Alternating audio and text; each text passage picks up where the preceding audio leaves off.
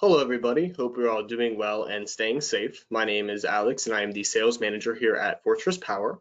Today, I'm going to talk about a little bit of a comparison between the Fortress Power battery and the Tesla Powerwall battery. The first thing that I will mention is the safety of our battery system. We use a lithium iron phosphate chemistry.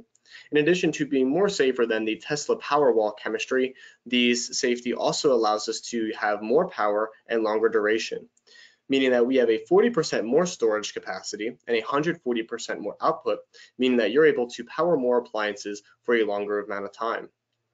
We provide a 10-year warranty with around a 12 to 15 year lifespan, while Tesla provides around a half of that, maybe six to seven, eight years of lifespan. Now you're probably wondering, how did you calculate this in terms of safety and longevity?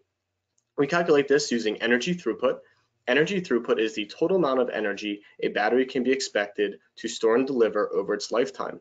So if you see here, the Fortress Power eVault has 88.8 megawatt hours of energy throughput.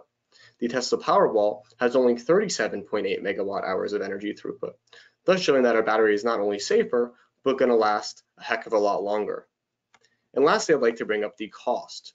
So you can see here, the Fortress Power System here on the left and the two Tesla Powerwalls here on the right the installed cost of the Fortress system is less than that of the Tesla Powerwall with a larger inverter, but also has a much longer energy throughput, 88.8 in comparison to 75.6.